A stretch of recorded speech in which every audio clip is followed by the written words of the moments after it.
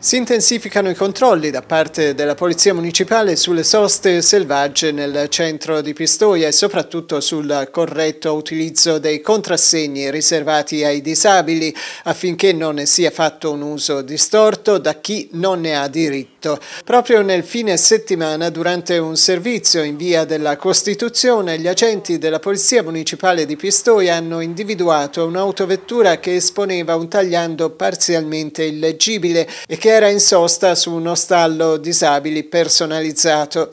Mentre gli agenti erano intenti ad accertare l'effettiva validità del permesso è arrivata l'utilizzatrice del mezzo, una donna residente fuori città, che su richiesta ha consegnato il contrassegno per la verifica. È stato così possibile accertare che si trattava di un esemplare falso, copia di un tagliando regolarmente rilasciato, plastificato e ben fatto che riportava sia l'indicazione dell'ente che lo aveva rilasciato, sia la foto della persona invalida subito contattata che in realtà si trovava a casa fuori dal comune di Pistoia. Gli agenti hanno quindi sequestrato il contrassegno. Per la donna, figlia dell'avente diritto, è scattata la denuncia per uso di atto falso e la sanzione prevista dal codice della strada per utilizzo improprio di stallo riservato a persona disabile.